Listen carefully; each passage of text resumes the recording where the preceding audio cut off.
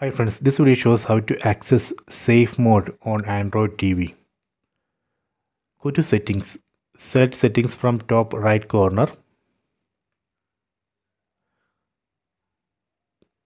Go to device preferences.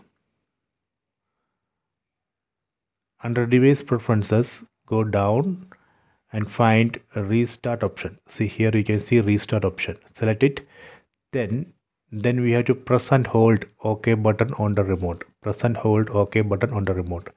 So now we can see restart to safe mode option here.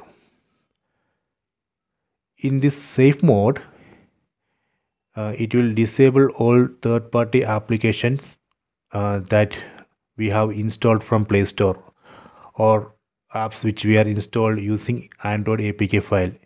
It will disable all those third-party applications so that way we can debug issues. If you are facing some problem then you can just go to the safe mode and we, then we can find whether that problem is because of one of the third party application which we installed from uh, play store or installed via android apk file. So that is the use of the safe mode. So if you are not seeing issue in safe mode that way we can confirm that issue is on the one of the app which we installed.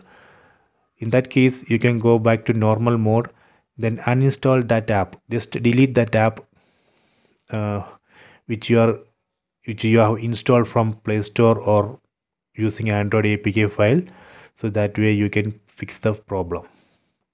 Okay so this way we can uh, access safe mode and debug issues and fix issues so i hope you have enjoyed this video. Please take it